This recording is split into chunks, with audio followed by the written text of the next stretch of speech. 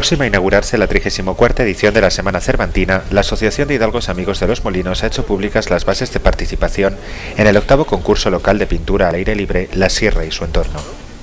Este concurso se integra dentro del calendario de actos promovido por este colectivo para festejar esta nueva semana cultural que contará con diversidad de actividades y que tendrá las costumbres y tradiciones de la localidad como protagonistas de las mismas. Es por ello por lo que el próximo domingo 22 de abril todos los artistas locales que lo deseen podrán sumarse a este concurso y presentar las obras que realizarán durante esa jornada en horario de 9 de la mañana a 2 de la tarde. Se establecerán dos categorías de niños, una hasta 12 años y otra de 13 a 16 años, y una categoría de adultos de 17 años en adelante. Todas ellas presentarán trabajos en tabla o lienzo con técnica libre y de 30 por 40 centímetros, siendo el tema la sierra y su entorno. Los premios de estas categorías serán, para los niños de hasta 12 años, material de pintura, para los niños de entre 13 a 16 años, 100 euros y diploma,